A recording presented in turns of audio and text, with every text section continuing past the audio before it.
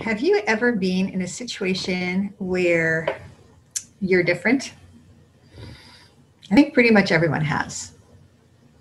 You know, being the only one who I've been in so many situations where I was different that I could write a book about it. But I'll give you two. When I was a girl, um, people didn't wear running shoes to, uh, to school. They wore more dressier kind of shoes. And all the little girls had these black, shiny shoes that I called party shoes or dress shoes. And I needed new shoes, and we went to the shoe store, and my mother didn't think that these party shoes were good for my feet, that they were good and healthy. So she wanted me to have sensible shoes that were good for my feet. And so those are the shoes I got, and I was different from everybody else. And happily, nobody made fun of me, at least that I heard, but I didn't like being different.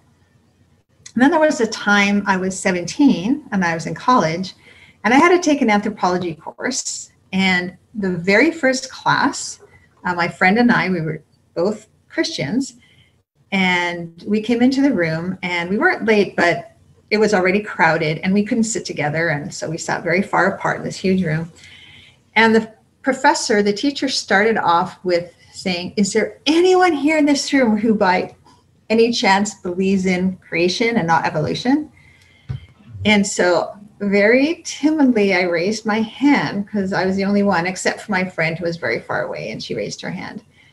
And we were different in that case. And the teacher said, "Well, I hope by the end of this course to convince you that um, that man made God in His own image. In other words, man made up God." Anyway, she didn't convince me. And I've had many situations since then. And sometimes when we follow God, we end up being different sometimes it's because we're following God that we won't do something. For example, um, so many thousands of years ago, the Babylon, the Babylonian king, the Bab- Babylonians captured Israel, and they took a whole lot of the people to Babylon. And among them, they took some very noble, well to do, rich um, young men and they were going to train them to have positions in the king's court. So they were very, um, it was very good for them. It was a very good opportunity being cap- captured and captives, but they were going to have this good opportunity. And they were even given food from the king's table.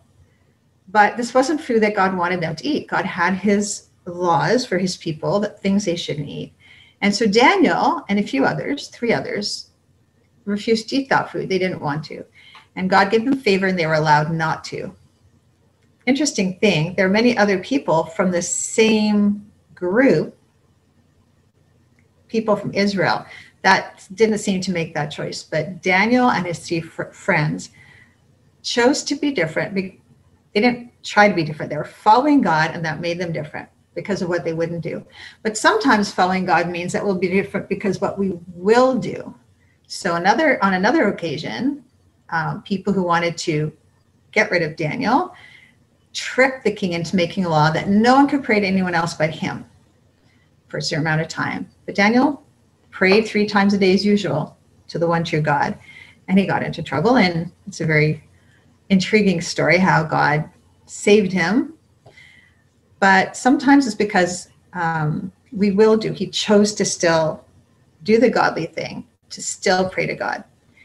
And I don't know what that looks like for you. Maybe maybe for you it's being a friend to someone who is uncool that other people are making fun of.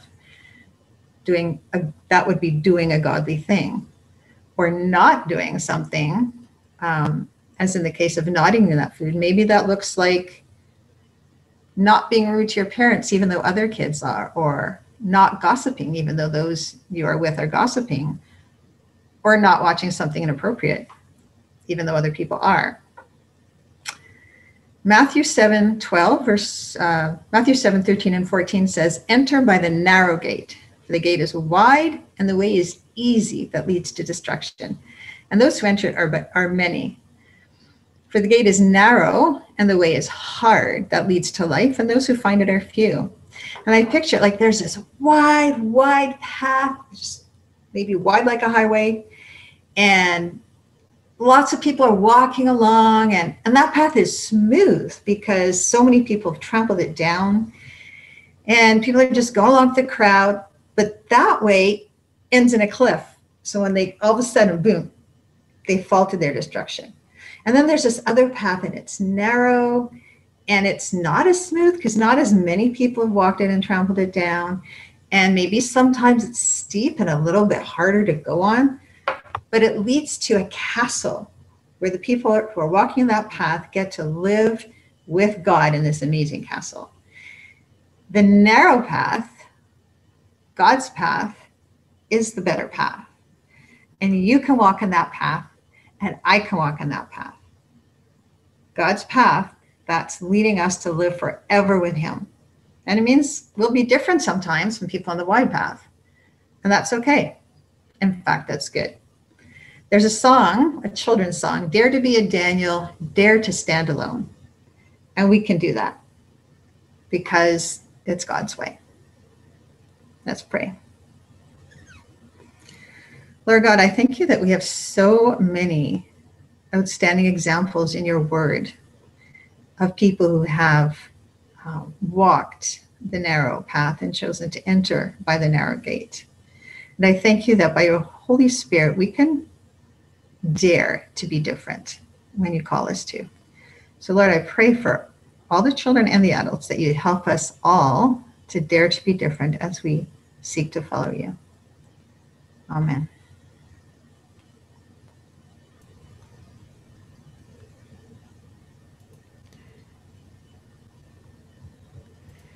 Well, thank you, Robin, for doing that.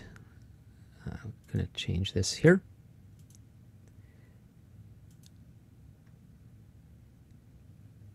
Okay. There we go. All right. Okay. Thank you, Robin, for that, for those important and really good reminders uh, that, that you shared. Now uh, Vimala is going to come and she is going to read the scripture for us.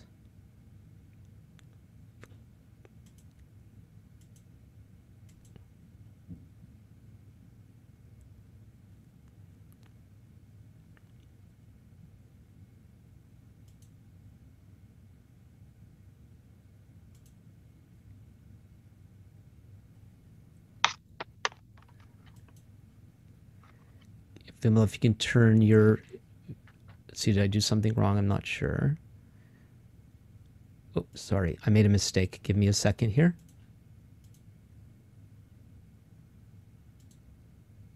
There we go. Okay, Vimala, if you could turn your video on.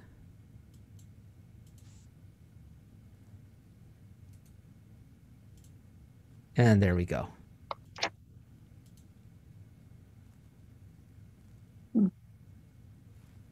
Oh, I'm sorry. I'll bring it up. And there's the scripture should be there in a second. And you, there we go.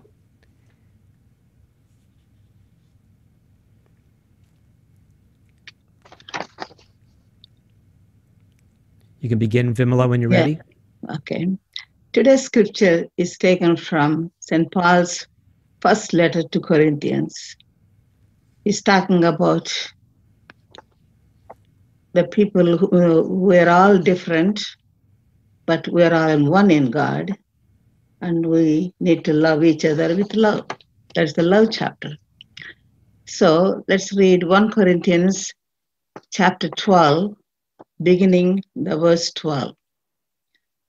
For just as the body is one and has many members, and all the members of the body, though many, are one body so it is with Christ. For in one spirit we are all baptized into one body, Jews or Greeks, slaves or free, and all were made to drink of one spirit. For the body does not consist of one member, but of many. If the foot should say, Because I am not a hand, I do not belong to the body, that would not make it any less a part of the body. And if the ear should say, Because I am not an eye, I do not belong to the body, that would not make it any less part of a body. If the whole body were an eye, where would be the sense of hearing? If the whole body were an ear, where would be the sense of smell? But as it is, as it is, God arranged the members in the body, each one of them as He chose. If all were a single member, where would be the body be? As it is, there are many parts at one body. The eye cannot say to the hand, I have no need of you, nor again the head to the feet, I have no need of you. On the contrary, the parts of the body that seem to be weaker are indispensable. And on those parts of the body that we think less honorable, we bestow the greater honor, and our unpresentable parts are treated with greater modesty, which our more presentable parts do not require. But God has so composed the body, giving greater honor to the part that lacked it, that there may be no division in the body, but the members may have the same care for one another. If one member suffers, all suffer together. If one member is honored, all rejoice together. Now, you are the body of Christ and individually members of it. And God has appointed in the church first, first apostles, second prophets, third teachers, then miracles, then gifts of healing, helping, administrating, and various kinds of tongues. Are all apostles? Are all prophets? Are all teachers? Do all work miracles? Do all possess gifts of healing? Do all speak with tongues? Do all interpret? But earnestly desire the higher gifts, and I will show you a still more excellent way.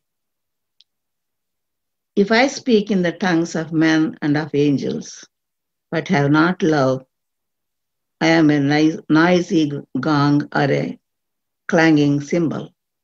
And if I have prophetic powers and understand all mysteries and all knowledge, and if I have all faith, so as to remove mountains, but have not love, I am nothing. If I give away all I have, and if I deliver up my body to be burned, but have not love, I gain nothing. Love is patient and kind. Love does not envy or boast. It is not arrogant or rude. It does not insist on its own way. It is not irritable or resentful. It does not rejoice at wrongdoing, but rejoices with the truth. Love bears all things, believes all things, hopes all things, endures all things. Love never ends. As prophecies, they will pass away. As for tongues, they will cease. As for knowledge, it will pass away. For we know in part and we prophesy in part. But when the perfect comes, the partial will pass away. When I was a child, I spoke like a child. I thought like a child. I reasoned like a child. When I became a man, I gave up childish ways. For now, we see in a mirror dimly, but then face to face. Now I know in part, then I shall know fully, even as I have been fully known. So now, faith, hope, and love abide. These three, but the greatest of these is love. Here ends the lesson.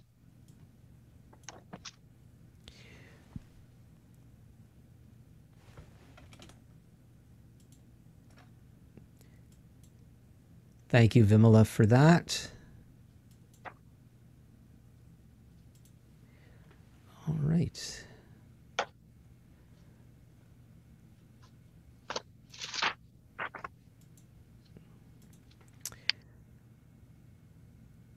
Okay. we're continuing a, a series. I really wasn't originally planning a series, uh, but when I finished up the last series looking at the various Bible characters and how they are just like us so that we could be just like them, and then over uh, Good Friday and Easter Sunday looked at how uh, Jesus became just like us so that we could become just like him. I've I've parked on the just like him uh, as we discover hopefully discover more and more how much uh, that is true and how that's supposed to be working in our lives in very very powerful ways. And so we've been looking at Colossians chapter 3 with this in mind and we're going to continue with a particular verse in Colossians 3 which we'll get to in a moment. Uh, but obviously it chose uh, to have a different passage read for our scripture reading, uh, which Vimala just read for us.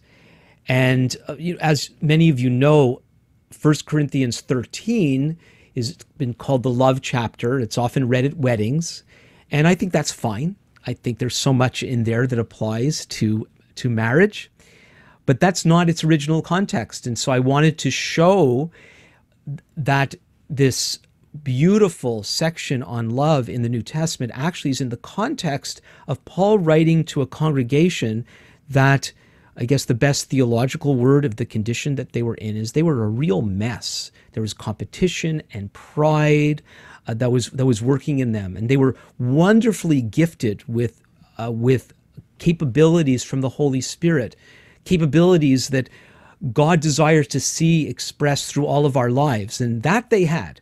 That they had in abundance, but they were not demonstrating God's power in their in their particular community in God's way. So they had God's power, but they weren't expressing it in God's way.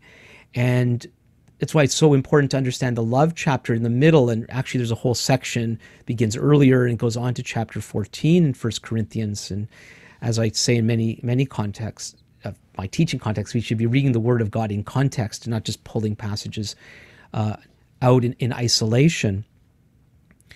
And so the First Corinthians context really illustrates well for us the need for the whole group of believers, the body of believers, to relate to one another, not just often we think when we think of love, we think of being nice, you know, a Canadian kind of nice, where we actually, well, don't get involved in each other's lives in the way that God wants us to.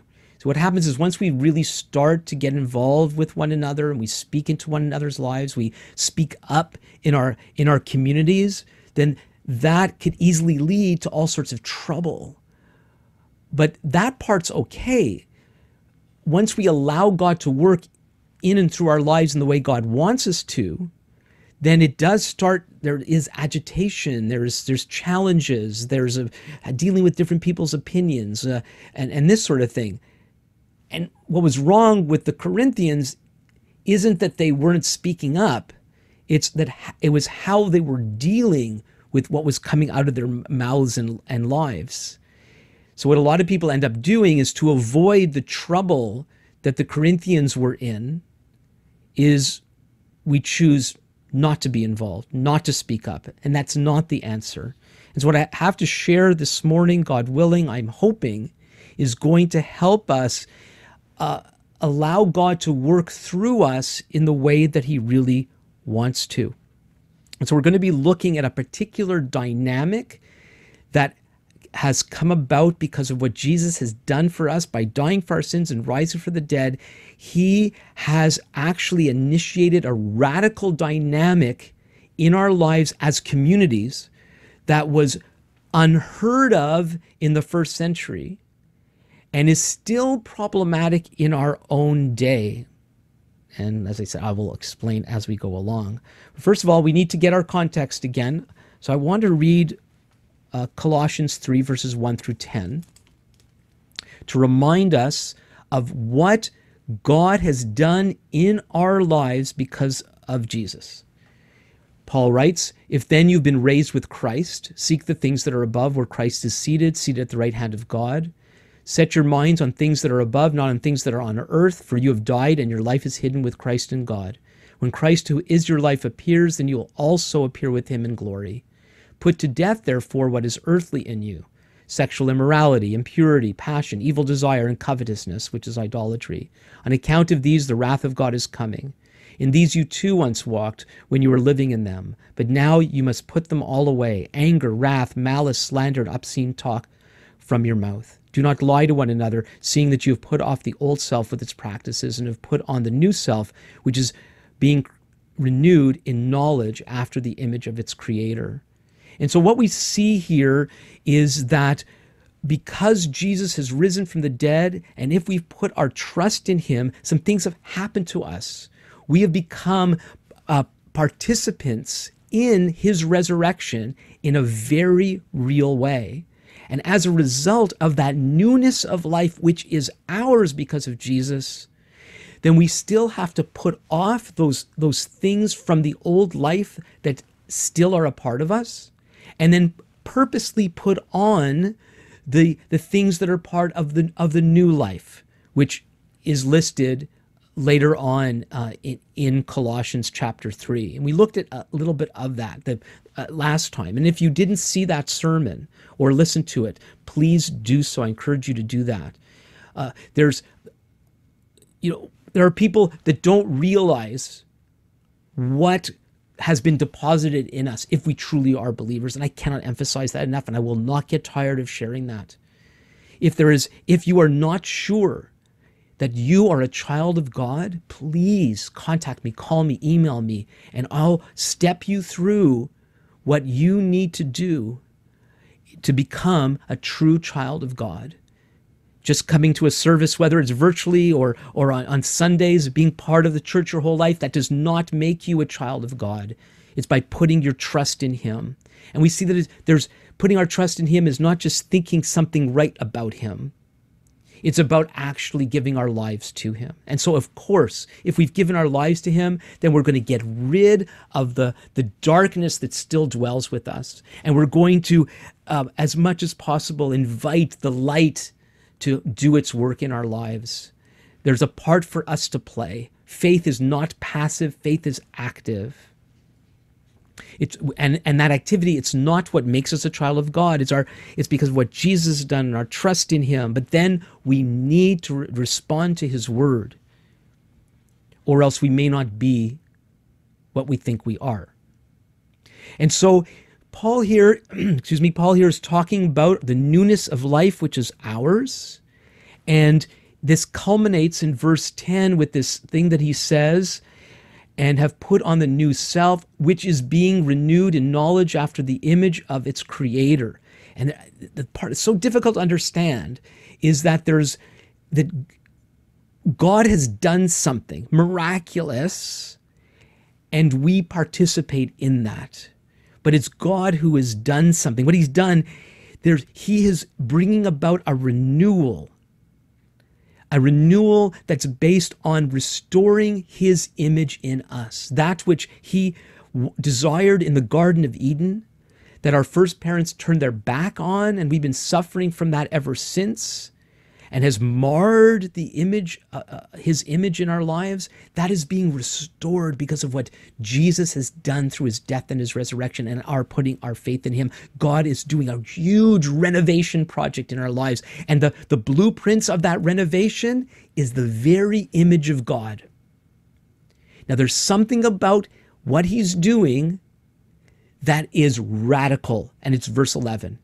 Here, there is not Greek and Jew, circumcised and uncircumcised, barbarian, Scythian, slave, free, but Christ is all and in all.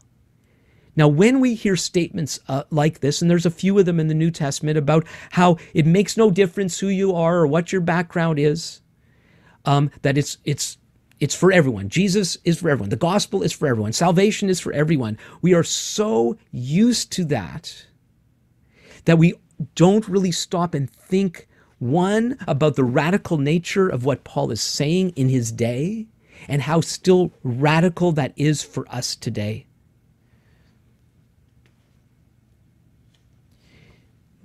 The reason, the reason that um, let, let me say let me say it differently here.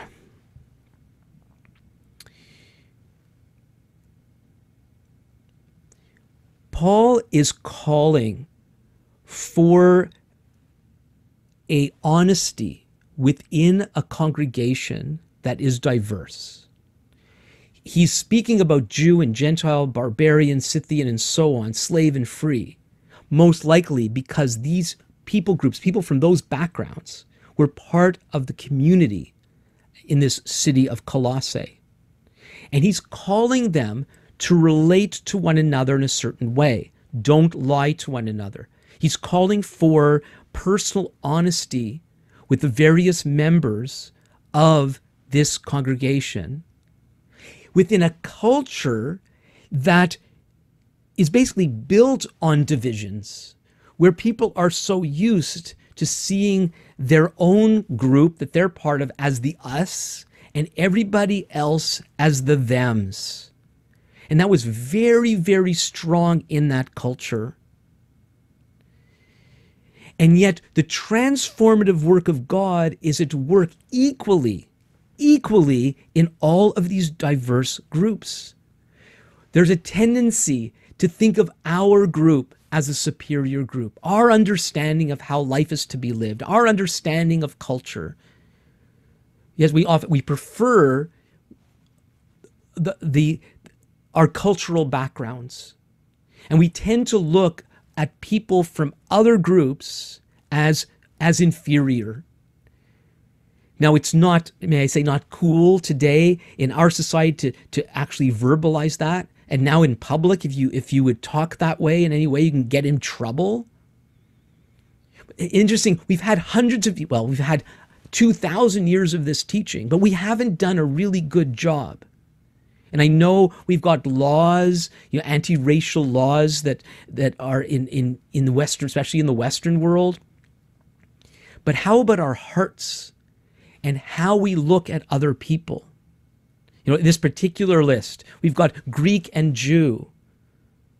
So this is culturally two very different groups that did not look kindly at each other circumcised and uncircumcised. You might think that's a repetition, but he might be referring to the religious components between Jews and Gentiles.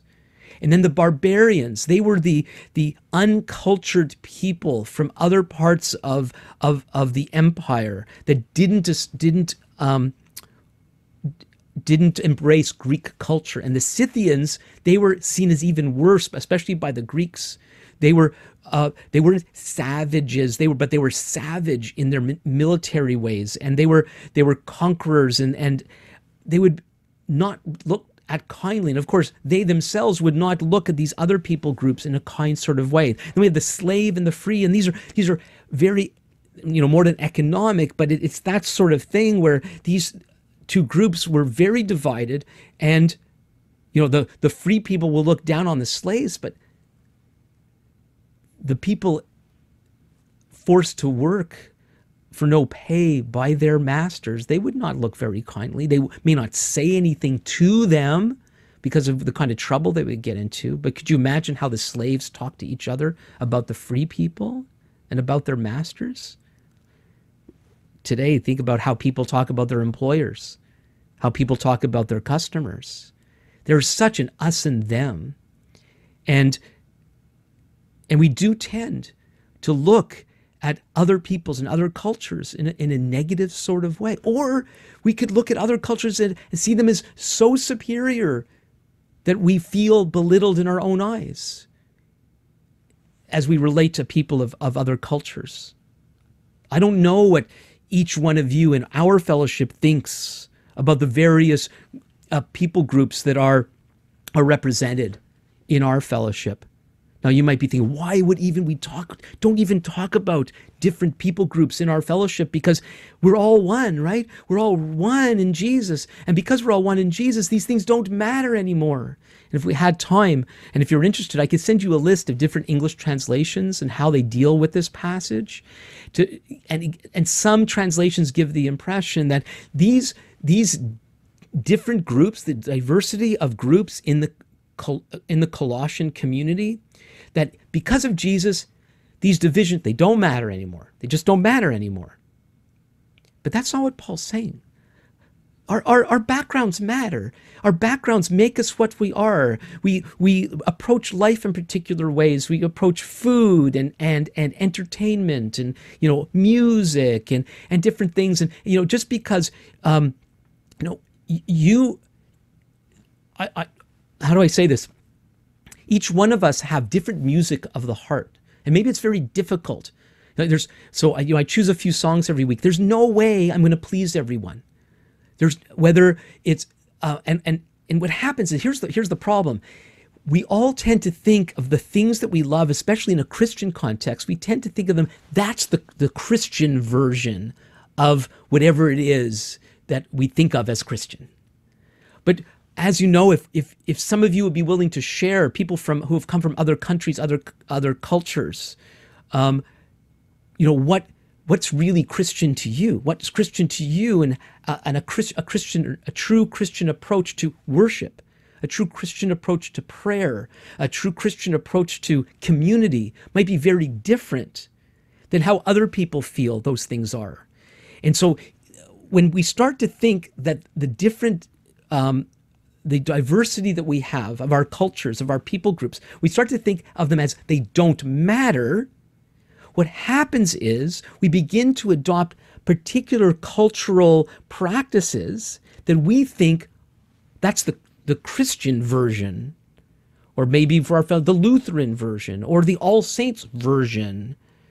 But we have a we have a problem if we start looking at what the scripture says. The scripture is telling us, and we saw that very powerfully in 1 Corinthians chapter 12, is we all have diversity of gifts.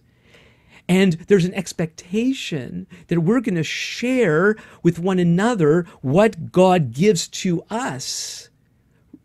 And it's, you know, if this was simply about our foods, and I know we've done this and I've, I've loved it when we've had like international foods. The funny thing is, you know, Canadian, Canadian food's international too. Whatever Canadian food is, and I don't really, I don't, what's Canadian food? you know, Tim Hortons coffee. Um, it's not poutine because it's not Canada wide, Canadian food. Um, I went actually went uh, when I was in Atlanta some years ago. Um, the person who was hosting me, I was going to a conference there, and uh, picked me up um, from the airport and offered to take me to a restaurant for lunch. And he said, "What do you want? To, do you want to go for Chinese? You want to go for Indian? Do you want to go for Canadian?" And he said, "Canadian." what's Canadian? They actually had a Canadian restaurant. It was called. This is this is true. It's it um, but it was Bugaboo Lodge. I think I'm saying it right. Bugaboo Lodge, and and and the we went there, and the restaurant it, it had uh, animatronic moose and and and buffalo, and there was Mounties, and um, what I ended up having was some sort of southern dish. There they they didn't even have poutine uh, uh, there. Um, there wasn't any Canadian food. It was just a Canadian hunting lodge motif restaurant. Anyway, it only goes to show too when we start to think about other people groups other cultures we have our own images of what what that's like. And i actually took you know they're so friendly in the south. You've been down there. Talk about a culture. And the manager comes out and he talks to me like i'm his old friend. And um, i actually suggested to him maybe they should have at least have something like poutine uh, because it's that's a little more uh, more specifically canadian than whatever uh, barbecue thing that I was I was eating there uh, at the time. But anyway, it's it's difficult for us to to to truly welcome other cultures and relate to those cultures in the way that that that they would they would actually appreciate. Um, so the, the passage continues. I'm going to read it at chapter 3, verses 12 to 17. Put on then as God's chosen ones, holy and beloved, compassionate hearts, kindness, humility, meekness, and patience, bearing with one another. And if one has a complaint against one another, against another, forgiving each other as the Lord has forgiven you. So you also must forgive. Now, if you think of this not just as people in a fellowship, think of this as a, div- a diverse group of people that see life differently, even while embracing a Christian approach, a biblical approach to life, there's because of the different cultures and divisions, they're going to f- deal with life differently. And so the the opportunity for issues, for problems, for conflicts is greater. So bearing with one another, if one has a complaint against uh, another. Forgive each other as the Lord has forgiven you. So you, you also must forgive. And above all these, put on love, which binds everything together in perfect harmony. You know, harmony demands diversity. Harmony is not unison. But a lot of people think that Christian unity should be unison, where we're all doing the same and we appreciate all the same things. But what would happen if we actually allowed our diversity to flourish in our midst? Well, at the beginning, we're going to clash. But if we practice love and patience in the way Paul says, then we'll finally be able to have harmony as the differences among us become expressed. Verse 15, and let the peace of Christ rule in your hearts, to which indeed you were called in one body. We, you know, peace is not simply calmness. Peace is not the absence of conflict. Peace is everything in its right place. It's actually health. It's healthy when your body is all functioning the way that it should. That's the the biblical concept of peace. The only way to have peace in our fellowship is allowing people to express themselves and learning to do so in a way that's going to be constructive. Let the peace of God rule in your hearts, to which indeed you were called in one body, and be thankful. Thankful even when not everything is exactly the way we prefer. Maybe give room for how some uh, ways that other people prefer. Verse 16, let the word of Christ dwell in you richly, teaching and admonishing one another in all wisdom, singing psalms and hymns and spiritual songs with thanks, thankfulness in your hearts to God. People contributing to the life of the community, but contributing what they have to bring, not what they expect other people want them to bring. But what do you, you know, it's like the little drummer boy Carol, like all he had was the drum. And so he brought his drum to, uh, to, the, to the baby Jesus. What's your drum? Do you have something hidden away in your closet that's precious to you that you want to share uh, in the midst of the congregation that other people will be enriched by if only they would go, well, it's a drum. We don't do drums. I don't mean to make fun. That's drums is one of the things that's caused great conflict in, in churches for all sorts of reasons. We need to learn, and and perhaps there are cultural things that we have that's part of our lives that we need to learn that are not godly. And some one of the ways we we learn to address what's wrong with our lives is by interacting with people that are able to see it, but they need to do so in love, not with condemnation and put downs. So let the word of Christ dwell in you richly, teaching and admonishing one another in all wisdom, singing psalms and hymns and spiritual songs with thankfulness in your heart, in hearts to God. Verse 17, and whatever you do in word or deed, do everything in the name of the Lord Jesus, giving thanks to God the Father through him. So often what happens when we start to give permission to people to truly express themselves, then we get a lot of, you know, them themselves. And what we do need to do is, is to conduct ourselves in a manner that's pleasing to the Lord, to do things as unto the Lord. But we need to bring our hearts, our souls, our strengths, our imaginations, our creativity, our cultures in, into the midst of our fellowship. So we actually need to hear from one another. You know, our church is, is seeking to enter into another phase of, of, uh, of again, uh, what, what's our vision? What's our vision of the church? How are we going to move forward?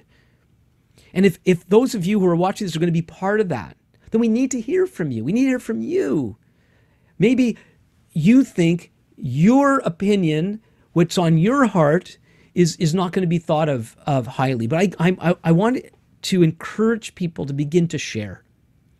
To begin to share. Maybe following these services over Zoom and in our fellowship, we'll find a way that people could share more in, in, in, in the way that's described in First Corinthians, giving people an opportunity to speak God's word to one another. We need that. We need to hear from you. We need to hear what the gifts from the gifts that God has given you. But one of the ways we can start from is like we're, we're struggling as a church. I think that is obvious.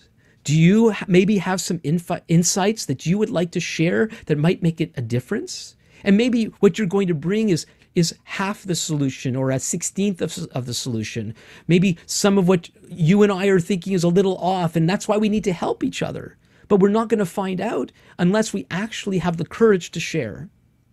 And so I want to encourage you to not just talk among yourselves uh, um, and you know if only the church would do this and only the church would do that that's not gonna that's not gonna help but um, whether there's someone on council that you trust but I, I what I really would like you to do, um, it will help me, and and and I have a pledge uh, for you. Whatever is on your heart, whatever you are thinking, you, your what you share with me will be respected and I will treat you with respect. I want to encourage people to phone me or to write to me and tell me what you think. What, what you think God is saying to All Saints Lutheran Church at this time?